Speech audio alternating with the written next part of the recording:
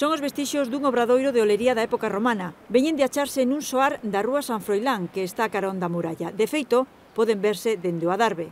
O equipo de arqueólogos que traballa dende hai unhas semanas nestes terreos atoparon restos relacionados con este oficio, datados probablemente entre os séculos 3 e 5. Estes achados avalarían a hipótese de que nesta zona existiu unha fábrica de cacharros de barro durante a época romana, xa que coinciden con outros vestixios atopados anteriormente relacionados ca olería, como tornos ou útiles de cerámica.